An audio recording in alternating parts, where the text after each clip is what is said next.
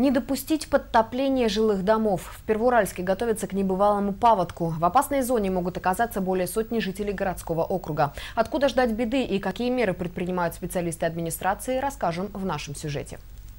На этой карте отмечены районы Первоуральска и его окрестности, которые в случае разлива часовой первыми окажутся в зоне подтопления. По прогнозам специалистов, больше всего могут пострадать жители улицы Чернышевского на Диносе, а также нескольких районов Белимбае, Бетимки, Новоуткинске, Прогрессе. Всего больше сотни человек.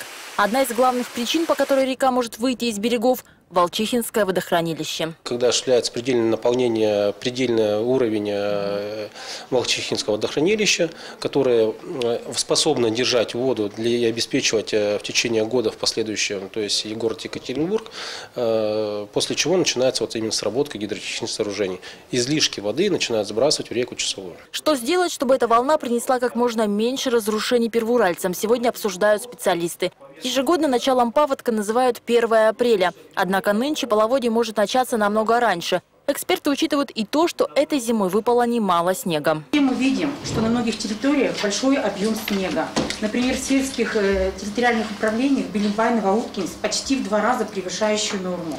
И учитывая про опыт прошлых лет, можно предопределить э, здесь сложную паводковую обстановку. Чтобы избежать подтопления домов, в Первоуральске проверяют все 19 гидротехнических сооружений. В каждом отслеживают уровень воды. Но начать сброс специалисты смогут лишь с разрешения экспертов Нижнеобского управления Федерального агентства водных ресурсов.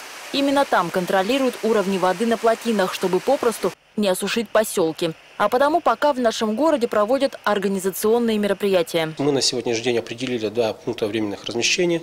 Это в поселке Белимбай и в поселке Новоуткинс. В случае, если население начнется подтопление придомовых территорий, куда мы сможем э, их определить э, на время, на период паводка. Со всеми жителями потенциально опасных районов планируют провести предупредительные беседы, раздать памятки. Люди и техника уже дожидаются своего часа, чтобы в случае необходимости прийти на помощь пострадавшим. На заседании противопаводковой комиссии присутствует и депутат Эдуард Вольхин. Народный избранник отмечает, нынче подготовку к паводку в Первоуральске начали намного раньше. Объем снега, который сегодня в этом году выпал, он очень большой, гораздо больше, чем в следующем году.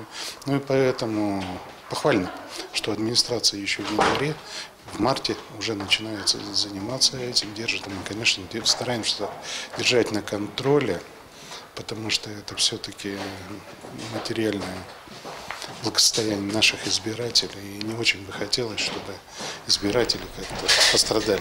Юлия Томилина, Денис Храмцов. Хроника дня.